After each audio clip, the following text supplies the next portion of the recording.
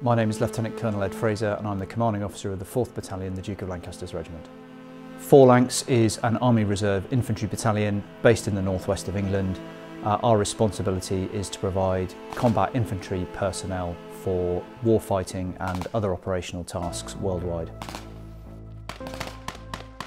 My role in 4LANCS is as the commanding officer to take overall responsibility for the training, command and welfare of up to 600 men and women under my command.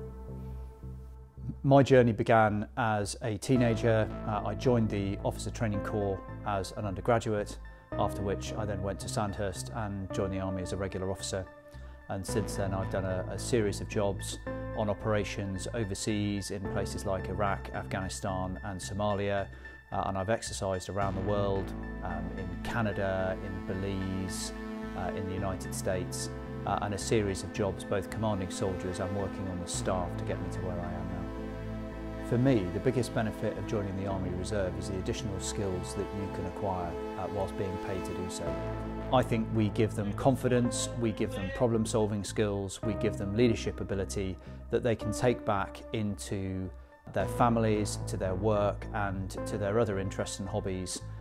There are opportunities that 4LANCS can offer people that money simply can't buy in the northwest of England.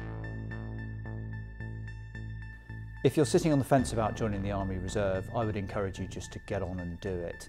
Come down and have a talk with the team, come and talk to those who've been through the process and they can reassure you that this isn't something that, that you need to be a superhuman to attempt. This is just ordinary people doing extraordinary things.